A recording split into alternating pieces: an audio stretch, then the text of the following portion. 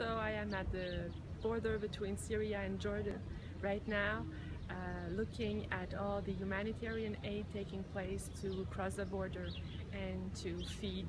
uh, the most vulnerable people on the other side.